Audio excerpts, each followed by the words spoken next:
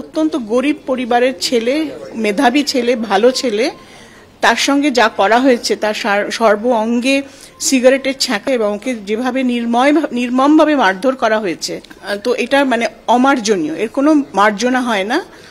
আমরা এটা নিয়ে খুব স্ট্রিক্ট পদক্ষেপ নিচ্ছি, খুব গুরুত্বের সঙ্গে আমরা এটা নিচ্ছি। এবং আমরা এটা এটাকে আমরা ছেড়ে দেব না আর কি। আমরা এটা শেষ পর্যন্ত দেখব। সুতরাং তাদের মৃত্যুদণ্ড হতে সুকান্ত একাধিক প্রশ্ন সামনে আসছে। এক নিহত পড়ুয়া সহ প্রথম বর্ষের আরও পড়ুয়া তাদের একাধিকবার ইন্ট্রোডাকশন পর্বের মধ্যে দিয়ে যেতে হয়েছিল। সেখানে কারা কারা হাজির ছিলেন? এমন কি ঘটনা ঘটলো যার জন্য এই মর্মান্তিক পরিণতি? অন্যদিকে ধৃত এক পড়ুয়ার মোবাইল ফোন বাজেয়াপ্ত করেছে পুলিশ। সেই মোবাইল ফোন থেকে কি কি তথ্য সামনে এসেছে?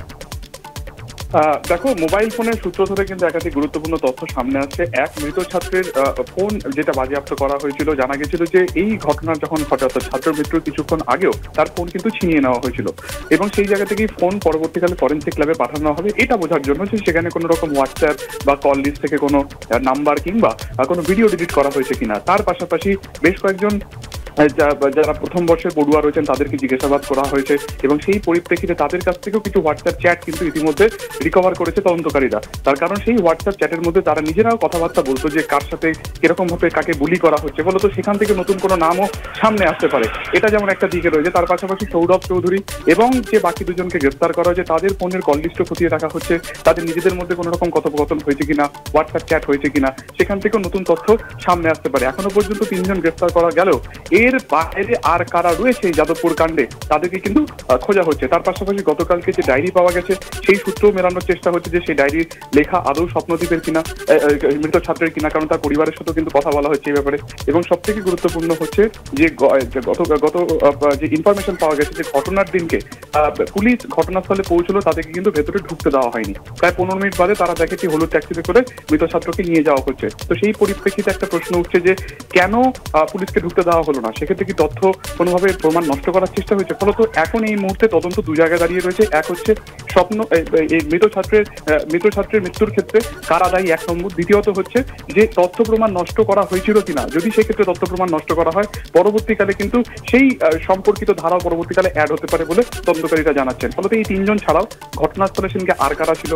মৃত ছাত্রকে কারা উত্তক্ত করতো? কাদেরই বা কোনো নির্দেশ ছিল কিনা যাবতীয় বিষয় আপাতত ক্ষতি দেখা হচ্ছে। আজকেও কিন্তু অনেক প্রাক্তনী যারা এই মুহূর্তে বর্তমান পড়ুয়া বা যারা ফার্স্ট ইয়ারে পড়ুয়া মৃত ছাত্রের যারা সহপাঠী ছিল তাদের প্রত্যেককে কিন্তু এই মুহূর্তে জিজ্ঞাসাবাদ করা হচ্ছে। একদম হস্টেলের একাধিক আবাসিক এবং প্রথম বর্ষের বাকি পড়ুয়াদের জিজ্ঞাসাবাদ চলছে। আর কি কি তথ্য সামনে আসে সেদিকে নজর থাকবে। ধন্যবাদ সুকান্ত।